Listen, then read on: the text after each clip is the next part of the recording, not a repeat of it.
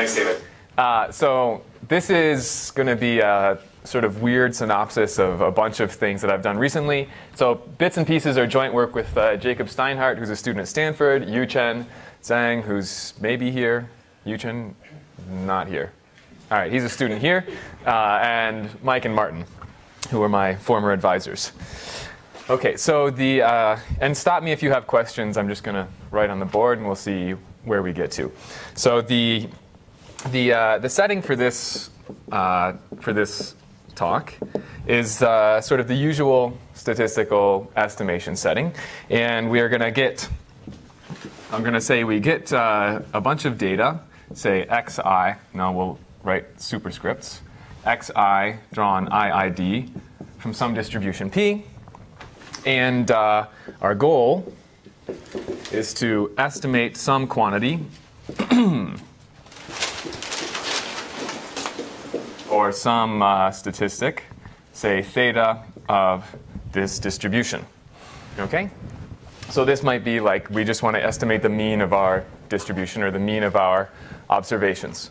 Uh, but the, the, the trick in this talk and the, the sort of setting we're working in is that we only we never actually get to observe the xi's fully. We're going to observe something else, which is a result of putting some kinds of constraints on our inferential procedures. Okay? So we only observe uh, zi instead of xi. And so an example where you might see something like that is, say, uh, in if you had like a distributed system and you were collecting data remotely and you had some kind of communication constraints or bandwidth constraints, maybe you can't send your full observations, you send some restricted version. Or uh, we might be doing something with privacy where you know, people don't trust me to collect data, so they don't want to tell me the truth about themselves. I get some perturbed version of the true data. Okay? Uh, but so the, there's sort of a, the picture that we're gonna, and, and so what we'd like to understand is what, what effect does observing some, something instead of the xi's have on our ability to estimate things. So let's, um, let's draw a picture, and this will be kind of the foundation for, for the talk. So the, the setting throughout is that we're going to just assume that we draw some uh, v in a set, script v, uniformly at random. And then conditional on seeing v, we generate data. Okay? Conditional on D generate x i, i i d. Right, and then the and then the picture is that we actually don't get to observe these. We observe z, so we have some kind of graphical model where we have v generates x1, and that becomes via some sort of channel or other becomes Z1. And then V generates X2, which becomes Z2. And these can depend on one another. And we're going to repeat this n times until we get to Zn. Okay? David. What is UAR? Is it a Uniformly at random. Oh, uniformly at random. Yeah. So we're just going to say that, I mean, this this will be sort of, we're, we're going to try to show that there are lower bounds on our ability to reconstruct V.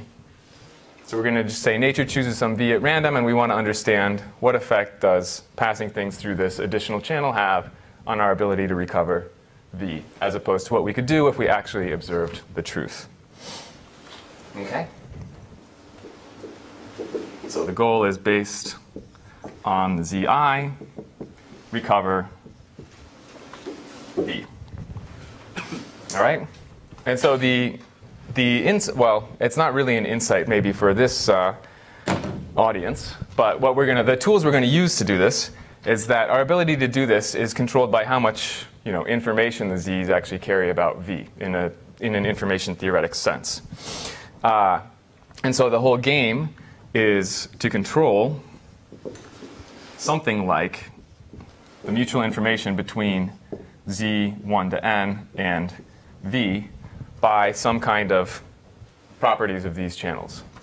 And the insight is that uh, we can do this and by basically assuming that there's some kind of likelihood ratio bound on parts of these channels. And we'll see how this uh, comes out in the next couple minutes. So, so the, what we're going to what we're gonna do is say that uh, if we have bounds on the likelihood ratio, which I will define shortly, in our system, we can do this. And in particular, we're going to look at two kinds of uh, likelihood ratio bounds. So, so what we're going to have is the first version is we're going to assume, say, if we have p of x given v divided by p of x given v prime is less than or equal to e to the alpha for some alpha. Or we could say that, here we'll call this, uh, we'll not worry about that, we'll say p or p of z given x divided by p of z given x prime is less than or equal to e to the alpha. So if there's any alpha for which either of these hold, we're going to be able to prove interesting things. So where might this, this will come up in constructions that we do.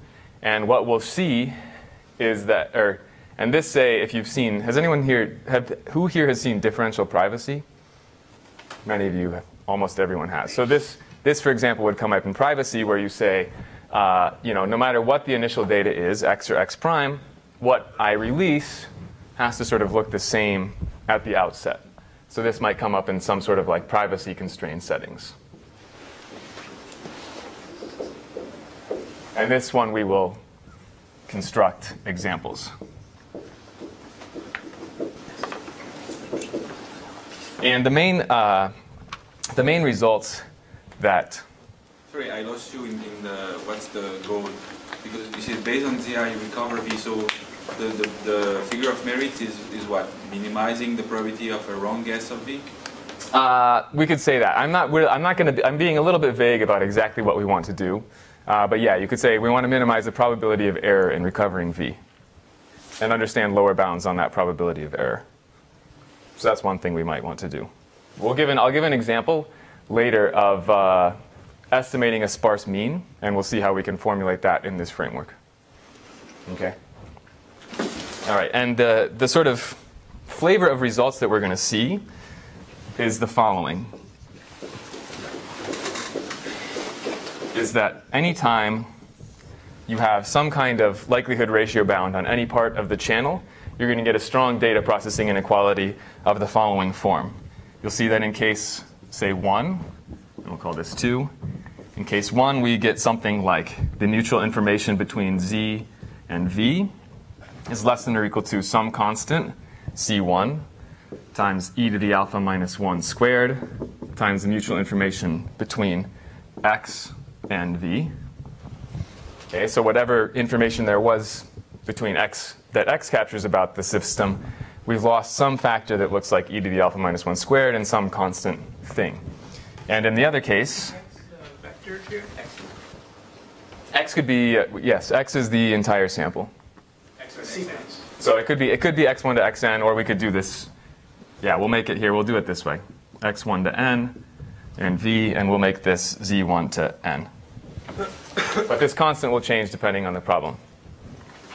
And then in the other case, when we have this, we get a result of the form i z1 to n and v will be less than some other constant that depends on our problem again, times the same thing Yeah, but in the assumptions 1 and 2, those are the vectors, that's the vector z given the vector x? Uh, yeah, sorry, let's write this this way and this way.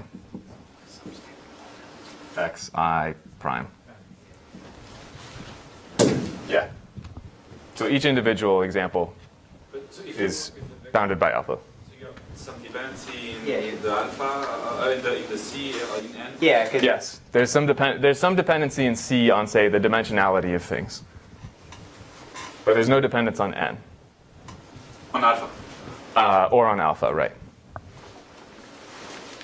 But I mean, getting, getting appropriate C's is what's going to tell us things. But the point is, I guess, that there's some kind of strong contraction here where we can where we're losing a lot of the information that might have initially been in the problem.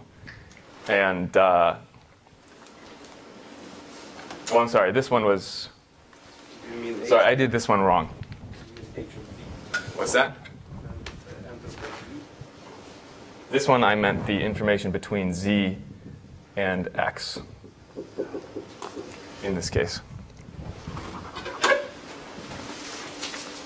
Okay, but let me give let me get go through a couple, one example of this, and uh, that might make it clear exactly why we care about doing something like this. Robert, Should I think of C1 and C2 as being really small? they're going to be problem dependent. So they may they may have some dependence on dimension, you know, and we'll s- we'll I'll show you an example where they do have a strong dependence on dimension. So alpha has to be close to zero. Alpha usually is somewhere between zero and one. But you know, it could be it could be anything. Sorry, goal was to recover V, right? The goal is to recover v. It seems to be going the wrong way. It's telling you it's, it's hard to do so. Yes, that's exactly right. We're going to get results that say this is hard to do as soon as we have constraints on our channel. And what the, I mean, look, what this is going to tell us is that if you want to say have privacy, it's going to be hard to actually infer things about the real world. Or in the in another case, what the example I'll go through in this talk is that if there are communication constraints, it's hard to do inference of v. So let me um, let me give a theorem and a consequence uh, that will maybe make a little bit more explicit these kinds of results. So we'll see. The constants are kind of important, right? Because The constants are super important. Yeah, yeah, yeah. No greater than one, that is it's the meaningless, right? What's that? Otherwise, it's the product of C1 times that. Yes. One, then it's the meaningless result. Yeah, I agree with that. So these constants are problem dependent. Yeah, I mean this is this is the flavor of results. I'll give you one where I'm being very explicit in a second. How's that? Okay. All right. So let's um, let's give uh, one explicit theorem to make everyone equally unhappy. So let's suppose V is chosen uniformly at random in assigned indices from 1 to d. So we're going to be looking at some kind of d-dimensional type of problem, okay? And let our xi's be d-dimensional random vectors. Excuse me. And assume that the density or the distribution, it doesn't really matter, uh, p of xi given v divided by p of xi given v prime is less than or equal to sum e to the alpha. Okay? And conditional on v, the coordinates xj are independent. Okay, so what's the game? The game is that we draw uh, some v in 1 to d uniformly at random, and then we assume that there's this bounded likelihood ratio, where alpha is some constant, and we have independent coordinates. Then what we can show is the following result. Here is a density. So p, it doesn't, we could, if we want to be, we could write dp and make these Radon-Nikodym derivatives. Yeah, if that, if that makes you happier. But it, it really doesn't matter. This can be discrete, they can be densities. I don't actually need them to be in RD. They can be in an abstract space, but let's just leave it. Let's assume, let's just call them densities and call it a day. Uh, so, sorry. Now you have subscript um, emerging. Yes. So, So- x superscript i is a vector. xi is a vector, xi1 through xid in R to the d. So that that the prob- conditional probability or density Yes. is on each component, or It's on the, it can be on each component or it can be on the entire vector. It doesn't actually matter for this result. just multiply product, right? Yes. Yeah. Okay, but so let's let's let's have this as our setup. Then the result is the following. Then for any uh, any index j, actually, we don't even need this. We'll just write then. The following is true. One, the average over the coordinates of the KL divergence between uh, p of z 1 to n given v equals j from p of z 1 to n given v equals minus j. Okay, so this is the average divergence across our entire thing, is going to be bounded by the following 2 e to the alpha divided by the dimension times e to the alpha minus 1 squared um, times the sum from i equals 1 to n of the mutual information between xi and zi given z1 to i minus 1. Okay, so let's unpack this statement a tiny bit. So if we, if we squint at this, what, what is this saying? It's saying that the distance, the average distance between the distributions of what we observe is related to however much information z actually carries about x, right? Because this is the amount of information z will carry about x in the entire problem. Does everyone agree with that? So this is a sum of mutual informations, but it's re reduced by a factor of about alpha squared and divided by the dimension. So we're losing essentially a factor of the dimension here as to what we would have originally had in our problem.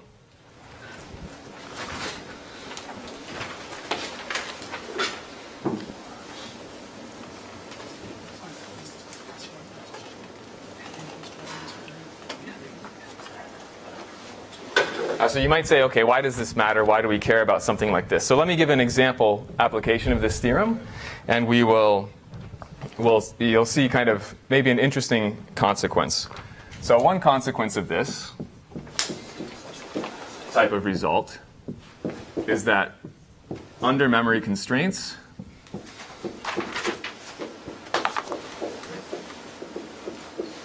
high dimensional estimation is hard. Why are you using J and minus J? What's special about the symmetry? I'm confused by your ordering. Um, what's special about the symmetry? Yeah, I mean, use plus, there's nothing about plus and minus.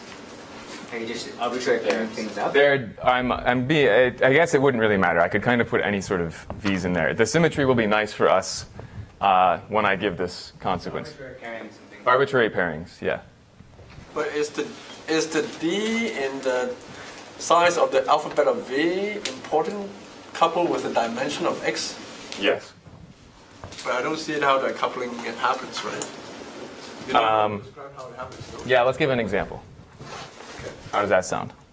All right, so let's say that, let's let our vectors x be in minus 1, 1 to the d, and say that e, the expectation of xj given v is equal to uh, 0 if v is not in plus minus j, and otherwise it's going to be delta or minus delta if v equals j and if v equals minus j.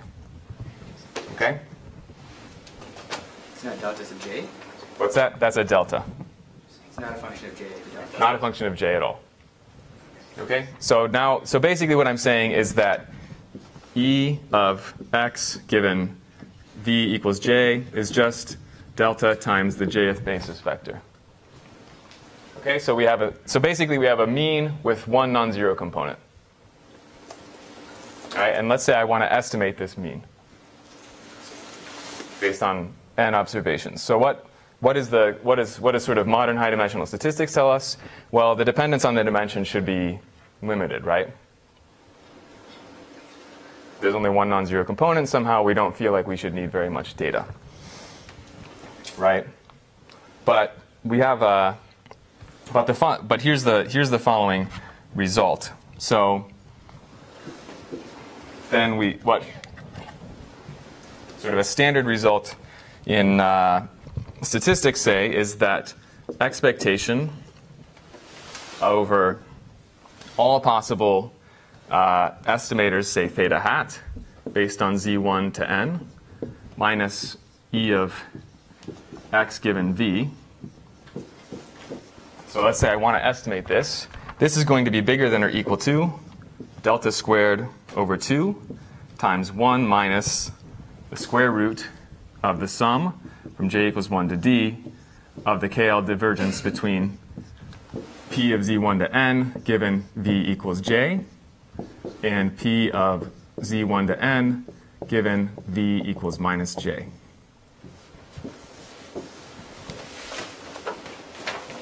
All right? So the point is that estimation in this model is going to be somehow the closer the distributions on z are, the harder estimation is going to be. Right? Yeah, question? This is uh, this is a consequence of Pinsker's inequality. Basically, it's if we could estimate this well, we could test which index we were at, and our error would be delta squared. I'm not going to prove this inequality, but then yes, it's just essentially just a testing inequality. So it's not a consequence of the theorem. No, this is just something that's true.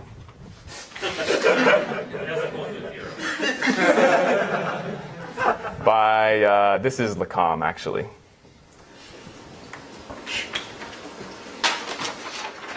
Yeah, the theorem is uh, debatable. That one is. This thing is accurate, but so why does this? Uh, but so let's let's now looking at this. Let's stick our the result of our theorem in there. Okay. So in this situation, well, our vectors x are just Bernoulli random variables, right? So we notice that p of xj equals 1, oopsie, given v, is in, it's going to be 1 of 1 plus delta over 2, 1 minus delta over 2, and 1 half. Right? I mean, because these are just a bunch of Bernoulli coordinates with some slight bias. Then what we see is that p of xj equals anything, say given 1 divided by v, or given v, is less than or equal to 1 plus delta over 1 minus delta, which is, say, less than or equal to e to the 3 delta, if delta is less than or equal to 1 half. Right? So we actually have this likelihood ratio bound in this scenario because of the way we've constructed things. So we're trying to estimate a sparse mean, and we have this likelihood ratio bound. Now we can apply our theorem.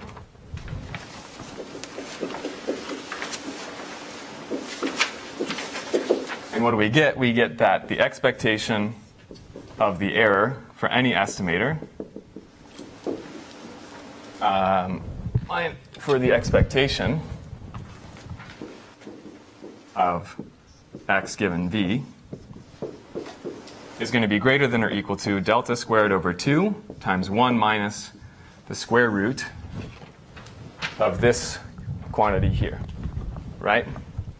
So we've got 2 e to the 3 delta divided by d times e to the 3 delta minus 1 squared, and the sum of the mutual informations.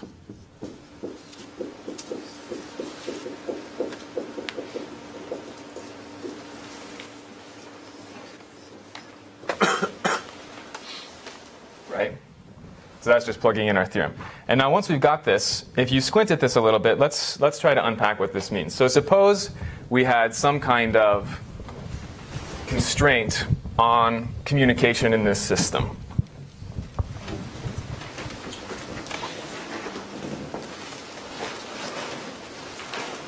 All right, so suppose that uh,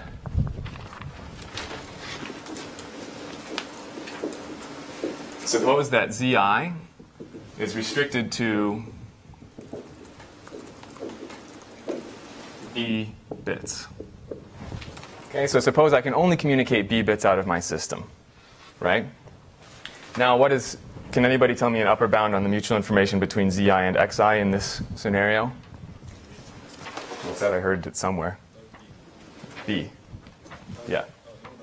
Oh, What's that? b bits. 2 to the b values. Yeah. So then we know that the information that zi can actually carry about any of the xi's is going to be bounded by b, right? And so if we stick this in here, and I'm going to say, I'm going to sort of squint and say that this is about equal to delta squared. Is everybody okay with that? That's true for small delta. We said delta was less than equal to a half anyway, right? So if we squint a little bit, then we get that our estimation error for this sparse mean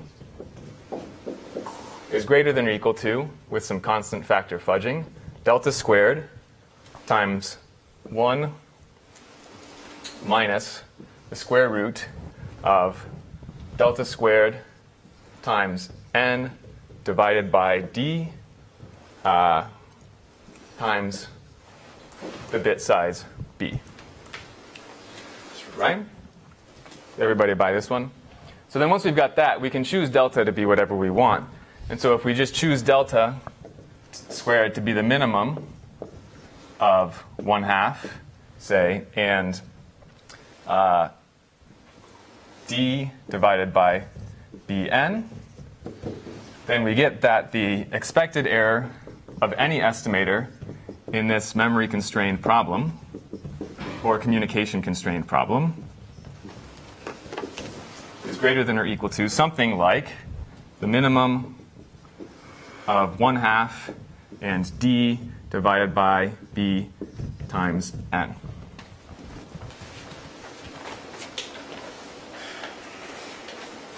All right, so why is this an interesting result? This is an interesting result because classical, well, not classical, sort of modern high dimensional statistics tells us that statistically, the number of observations we need scales only as log the dimension, right? And so here, so you might expect, okay, you know, if I could get away with sample size scaling only logarithmically in the dimension, maybe I don't need to communicate a whole lot, especially if I'm allowed to keep in memory all of the previous communications I've done right? Because we, we saw our picture earlier was that you could had Z1, which could inf- inform Z2, which could inform Z3, etc. But this says that unless the number of bits we're communicating at each step is scaling at least almost linearly in the dimension, we're never going to have an error rate that's going to go to zero in a high dimensional statistical setting. So I think uh, my time is basically up now. Sorry, that was kind of a blitz through everything. Um, but I guess the, the take home here is that you know, if we have some control over a likelihood ratio anywhere in a Markov chain, we can get strong data processing inequalities, which will give us interesting lower bounds on estimation problems as soon as we have constraints. So I'll stop there, and thanks for your attention.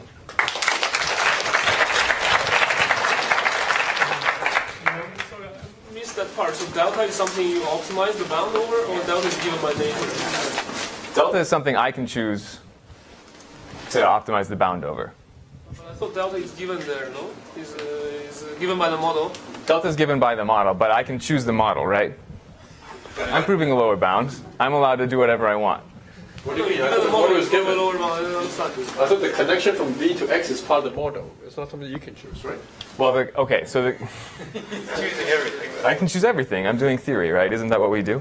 Uh, right. So, so if delta is given as part of the model, then yeah, things things change a little bit. But if I can choose delta, so if I'm just trying to prove a lower bound on sparse estimation, then I'm allowed to choose sort of the signal size and things like that, or the the size of the uh, the non-zero means.